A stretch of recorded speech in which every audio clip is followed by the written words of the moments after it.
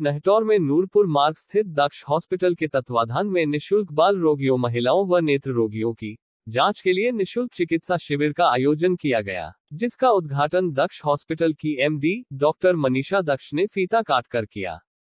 उन्होंने कहा कि इस प्रकार के आयोजनों से जनमानस को लाभ मिलता है। इसी दौरान नूरपुर मार्ग पर स्थित दक्ष हॉस्पिटल के तत्वाधान में निशुल्क बाल रोग, महिला रोग व नेत्र रोगियों के लिए चिकित्सा कैंप का आयोजन किया गया।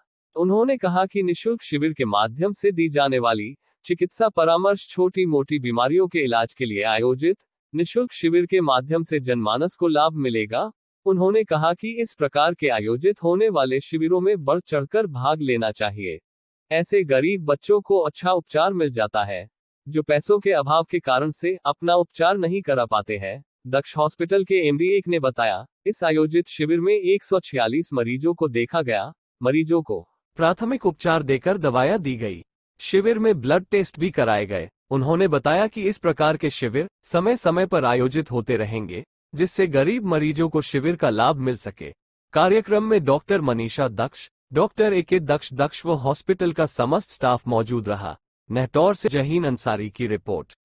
ये बच्चों का, महिलाओं का और आँखों का चिकित्सा कैंप है, जिसमें आँखों का परीक्षण किया जाएगा और बच्चों की एक दिन की दवाई फ्री दी जाएगी। उसमें बच्चों की जो पेपर बनता है वो भी हम फ्री देखेंगे बच्चों को। और महिलाओं के लिए हमने एक बार के डॉक्टर आज अवेलेबल कराए हैं।